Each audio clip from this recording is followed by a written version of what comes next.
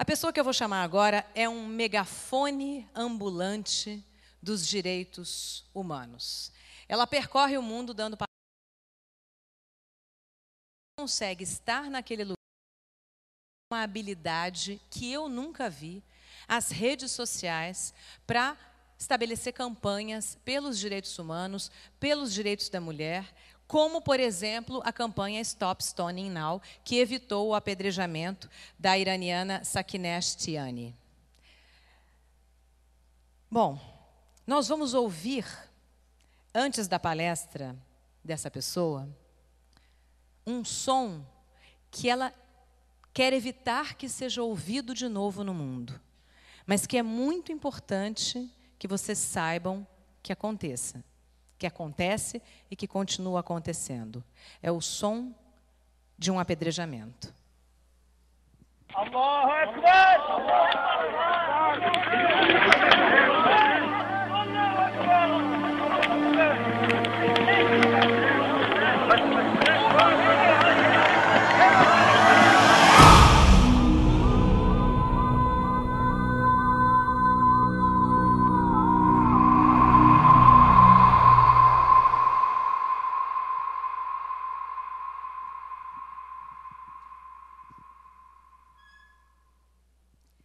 Com vocês para falar sobre a sua vida, a sua história, a iraniana, exilada na Alemanha, de onde lança sua voz poderosa para o mundo.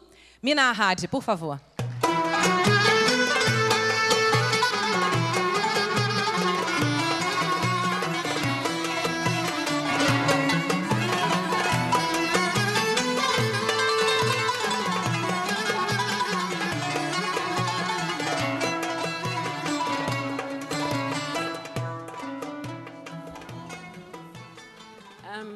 Bedanke mich sehr viel. Ich bin sehr glücklich, hier zu sein. Ich bin Mina Hadi und komme ich aus dem Iran. Äh, ich habe vor drei Jahren, ich, wir leben jetzt in Deutschland und ich habe zwei Kinder mit meinem zweiten Mann. Und vor drei Jahren hat meine Tochter eine 13-Jährige von Schule nach Hause gekommen und hat gesagt, ich und mein Mann waren wir zu Hause und hat ge ge gefragt, wer ist dieser Mann? Ich habe gesagt, ich habe meine Tochter geantwortet, er ist dein Vater. Und sie hat gesagt, aber in Schule habe ich gehört, du hast ein Buch geschrieben und in dein Buch hast du geschrieben, dein Mann im Iran wurde ermordet. War der mein Vater? Ich habe gesagt, nein. Und er ist dein Vater. Und meine Tochter hat gefragt, wieso hast du nicht über diese wichtigen Geheimnisse in unserer Familie mit mir gesprochen? Wieso soll ich von Schule so etwas hören? Und ich habe gesagt, ich habe gewartet, bis du 18 Jahre alt bist und dann kann ich über diese Tragödie mit meinen Kindern reden. Ich komme aus dem Iran und ich habe dort Medizin studiert. Ich war sehr jung, sehr erfolgreich und wollte eine Ärztin werden. Damals, ich habe geheiratet mit meinem ersten Mann. Links, Sie können schon sehen. Ähm, er war Physikstudent im Iran und wir haben vorgehabt, ein normales Leben haben. Ich komme aus einem kleinen Dorf und dort als Kind, ich sollte Chador oder Kopftuch haben. Und ich habe immer wieder meine Mutter gefragt, wieso darf ich nicht auf die Straße gehen, spielen und so weiter. Und die Antwort immer war, wir sind Muslim, weil wir Muslim sind, weil wir eine muslimische Familie sind. Und glauben Sie, in unseren Ländern, so wie Iran, die Frauen oder Jugendliche fangen an, eine kritische Auseinandersetzung mit dieser Religion. Wenn diese Religion da ist und ich darf nicht einen Freund haben, dann was ist das? Ich habe auch angefangen, eine kritische Auseinandersetzung mit Religion. Dann habe ich gedacht, ich gehe in eine große Stadt, dann habe ich meine Freiheit. Das habe ich getan. Ich habe studiert in eine große Stadt, damals Schachzeit, und ich habe dort meinen ersten Mann kennengelernt. Es gab in unserem äh, Land eine Revolution gegen Schah-Regime. Wir haben teilgenommen in dieser Revolution mit dieser Hoffnung, dass unser Leben besser wird, weil Schah-Zeit auch war eine Diktatorregierung. Aber am Endeffekt, auf meine Sicht, es gab im Iran auf die Straße verschiedene Kräfte, Linken, Rechten, Monarchisten, Islamisten.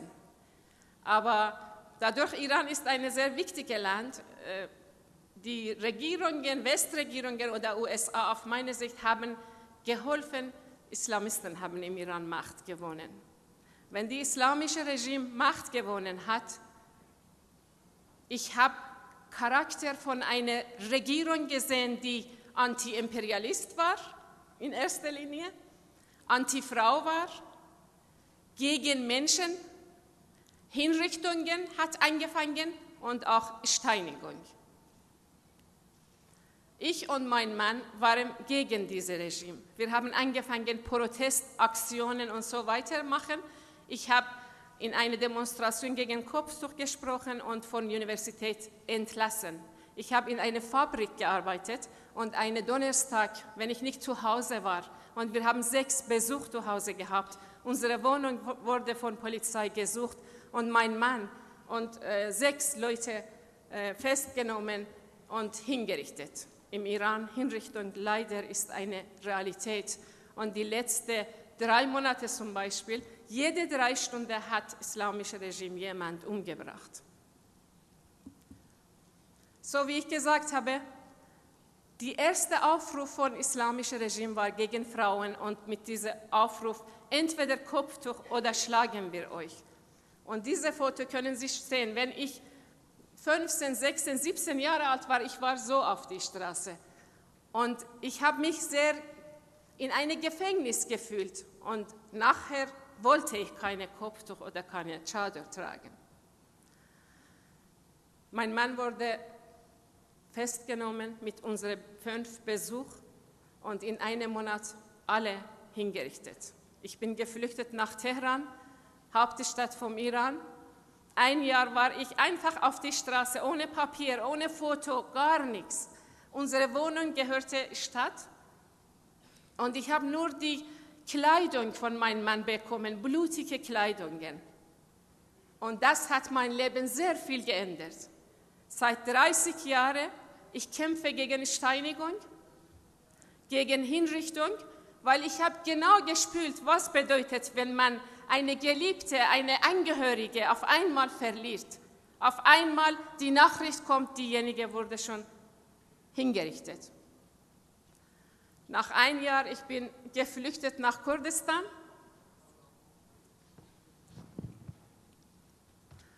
Damals Kurdistan war frei im Iran und zehn Jahre lang war ich Partisan in Kurdistan.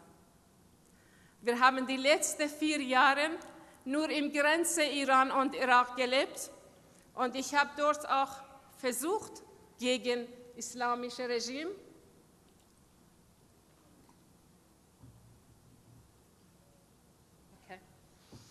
gegen Hinrichtung und gegen Steinigung etwas machen. Die Hinrichtungen im Iran werden am meisten auf die Straße und öffentlich gemacht. Und was ist Steinigung? Auf meine Sicht, Islamisten sind eine Bewegung, eine politische Bewegung. Wenn sie möchten Macht bekommen, zuerst greifen sie Frauen an, weil sie glauben, Frauen sind schwache Geschlecht und die anderen Menschen helfen diese Frauen nicht. Das hat wirklich im Iran passiert. Die haben uns angegriffen auf die Straße. Zuerst Männer mit Bart, dann Männer mit Messer, dann Männer mit Klaschinkow waren auf die Straße. Ich habe Gefühl gehabt, wenn wir nicht akzeptieren, was dieses islamische Regime möchte, dann kommt noch schlimmere Sachen.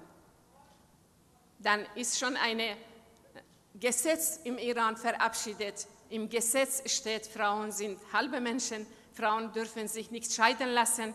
Ein, eine Frau, also Blut von einer Frau hat wenig Wert als ein Mann. Und im Gesetz steht, wenn die Frauen außereheliche Sex haben, sie werden auf die Straße gebracht und gesteinigt. Und im Gesetz steht, die Steine sollten nicht so groß sein, dass die Frau mit einem Stein stirbt. Das sollte nicht so klein sein, was, die, was man kann diesen Stein als Stein nennen.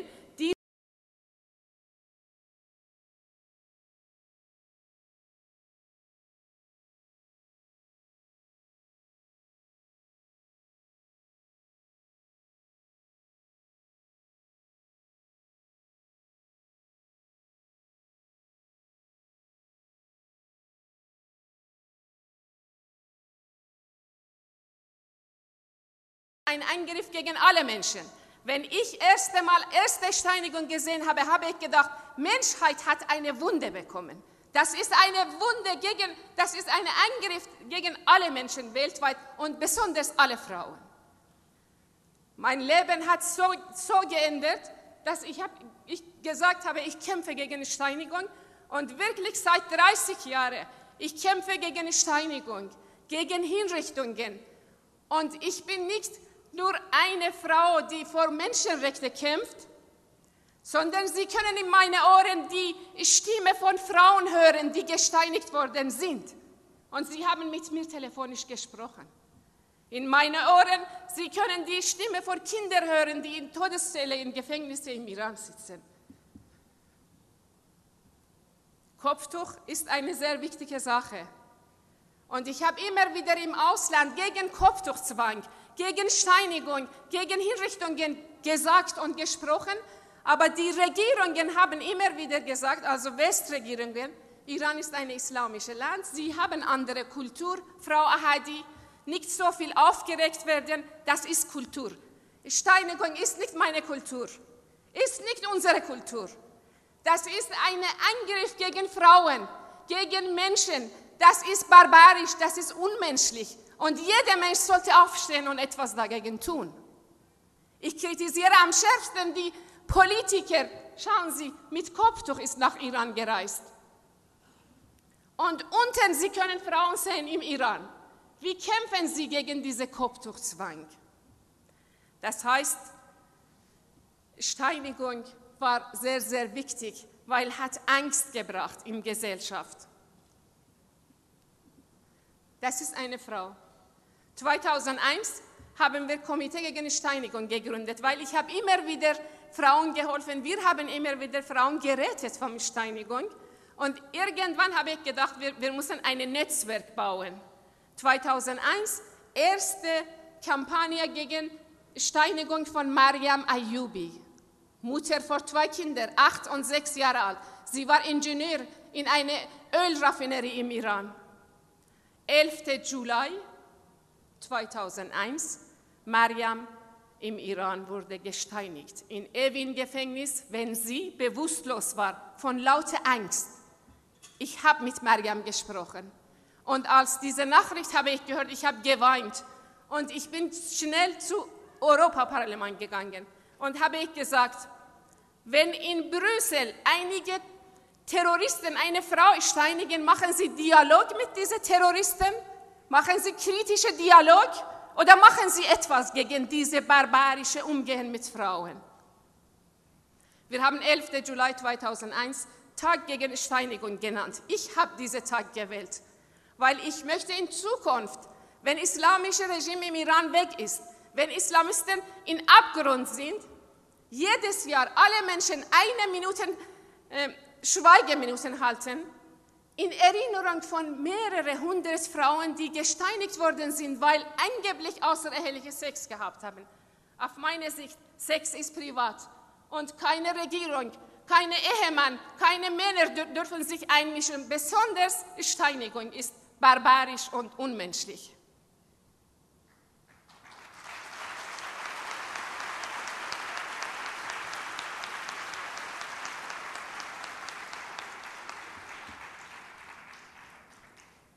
Wir haben zwischen 2001 bis 2010 sehr viele Frauen gerettet.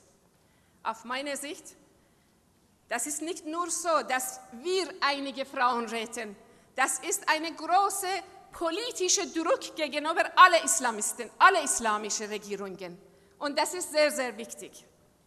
Islamische Regime im Iran hat vier, fünf Jahre nicht, nicht erlaubt, Frauen auf die Straße bringen und steinigen.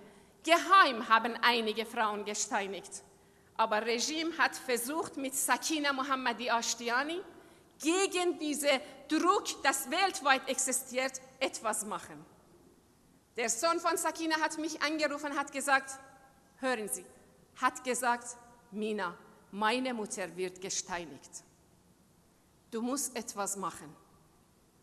Und auf meine Sicht war ein Krieg zwischen uns und islamischer Regierung. Es gab 2010 Internet, sehr vorbereitet, Facebook und sehr viele Kommunikationsmöglichkeiten. Mein Modell von Arbeit ist so, ich gehe nicht irgendwo und sage ich nicht, einige Menschen wurden im Iran hingerichtet, sondern ich gebe ein Gesicht von diesen Menschen. Wenn ich über einen Fall arbeite, ich muss ein Foto haben. Und ich habe auch Sajjad gesagt, du musst ein Foto von deiner Mutter schicken. Weil mit Foto kann ich schon erklären, das ist ein Mensch. Sie hat Gefühle, sie hat Träume, sie hat Gedanken. Und ich versuche mit diesen Menschen Interview machen. Das ist sehr, sehr gefährlich, sehr problematisch, weil sie sitzen im Gefängnis. Aber versuche ich immer wieder mit diesen Menschen über nicht nur Steinigung oder Todesstrafe. Ich frage Sakina, welche Musik magst du? Und sie antwortet. Ich frage, wie denkst du über Gott? Und sie antwortet. Und ich frage, wie denkst du über Sterben? Und sie antwortet. Und ich, wir machen das, wir übersetzen verschiedene Sprachen in Facebook und verschiedene soziale Medien. Ich habe Sajjad gesagt, wenn du möchtest, dass ich deiner Mutter helfe, du musst einen Brief mit deiner Schwester zusammen schreiben. Du musst schreiben, meine Mutter wird gesteinigt. Ich und meine Schwester möchten das nicht. Das haben die gemacht, diese zwei Kinder. Wir haben diesen Brief auf Englisch und Deutsch übersetzt, nach zwei Tagen in Facebook 30 Sprachen. Also ich weiß nicht wer, aber einige haben das gemacht. Gegen Steinigung von Sakine Mohammadi Ashtiani. Drei Millionen Unterschriften haben wir gesammelt mit anderen Organisationen. In 110 Städten haben wir Demonstrationen organisiert. Und wenn Ahmadinejad in New York war und haben gefragt, was ist mit Sakina, Ahmadinejad hat geantwortet, eine Frau in Deutschland ist verrückt und macht diese Geschichte. Er hat mich gemeint. Ich habe ge geantwortet, ja, ich trage diese Verantwortung. Ich mache diese große Kampagne gegen Steinigung von Sakina Mohammadi Ashtiani und ich möchte weitergehen und erklären, alle Regierungen, die mit islamischem Regime zusammenarbeiten, sollen etwas anderes machen. Wenn eine Regierung Frauen steinigt, dann sollte isoliert werden, weltweit. Wir müssen die Botschaft von diesen Regierungen abschließen. Und das ist meine Sache auch in Brasilien. Das ist ein Foto, wir haben wegen, also eine Frauenrechtsorganisation, Tag gegen Steinigung das gemacht. In einer Woche, 11. Juli, ist Tag gegen Steinigung. Mein Wunsch ist, dass weltweit eine Schweigeminute, dass die alle Menschen stehen und nachdenken. So wie ich gesagt habe, ich mache mit Fotos und Sie können hier einige Fotos sehen. Die Frauen, die mit mir Kontakt ge gehabt haben, dass unser Komitee diese Frauen geholfen hat.